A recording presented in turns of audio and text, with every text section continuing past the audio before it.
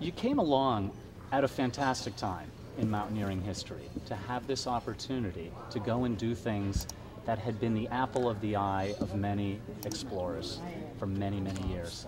And uh, you seem to, history crossed paths with the man who was put on this planet, I suppose, with the abilities to be able to take on that task.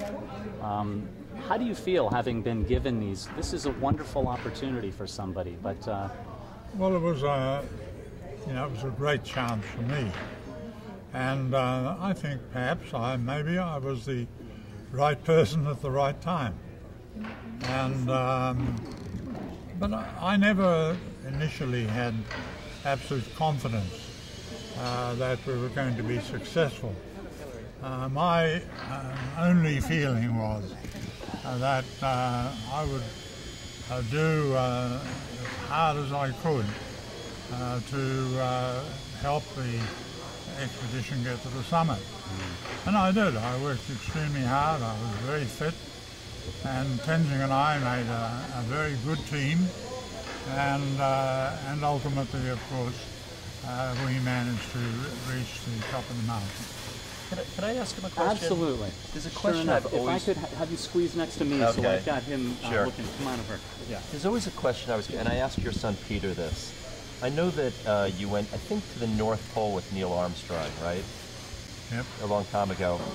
Obviously, you two are very significant figures in exploration. You know, each having achieved something very special. What did you talk about? Did he ask you about Everest? Did you ask him about the moon? I mean, was there some sort of unspoken? Well, I, I really enjoyed Neil Armstrong. Uh, we um, flew into the Arctic and landed on the frozen lake. And there was a, a little uh, hut there, and we spent the night in the hut. And, uh, and we talked a lot. But you know, I hardly uh, uh, asked any questions at all. It was really uh, Neil who was uh, much more talkative uh, about his experiences uh, than I was. I asked him many questions, and uh, I was intensely interested uh, in his experience. but I didn't talk too much about my own activities. That's that's interesting because in general, Neil Armstrong is a very private man you, you tend to be a lot more outgoing.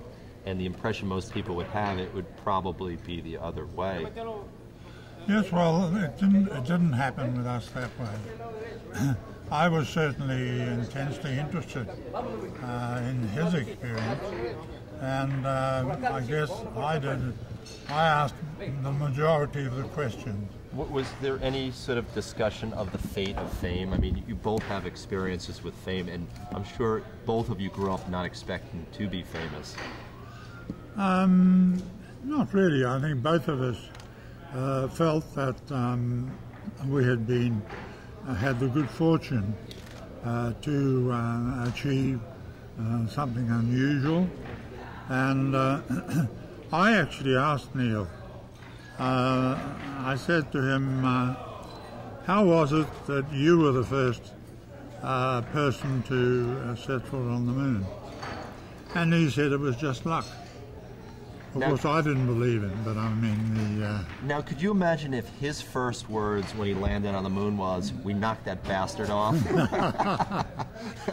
no, I think he probably had a, a little bit all written out for for him on that uh, person. Mine was, after all, uh, our expedition uh, was in, in, many ways a much more uh, unscientific and relaxed activity. And so when I was asked by my good friend George Lowe as to uh, uh, how, um, we had done on the mountain, I just spoke to him as uh, another climbing friend. well, George, we knocked the bastard off. Would you have changed the words now in retrospect? Well, when I got back home, my mother was absolutely horrified. she said, Edmund, you didn't say those words, did you? and I have to admit that I had. Yeah. Oh, that's great. Hey, listen, uh, I'm going to let you go. Yeah, I, I, know, I know you have to run. I wanted to ask you one last question. Um, what you did in 1953 was a great accomplishment, but I think your greatest legacy is the commitment and the work that you did in the years following to give back to the Sherpa people.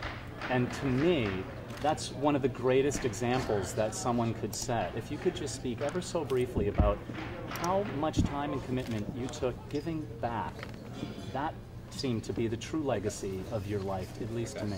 Well, I think it's, uh, there's no doubt at all. Uh, if I think about it at all, um, about uh, what has been the most important thing uh, I, have been involved in, it hasn't been uh, the uh, climbing of mountains or the reaching of the poles. it unquestionably has been the carrying out of projects uh, for my good friends the Sherpas, the building of schools, uh, hospitals, uh, bridges, and all those sort of things. Those are the things that I really regard as uh, being completely worthwhile. Fantastic. Thanks so much.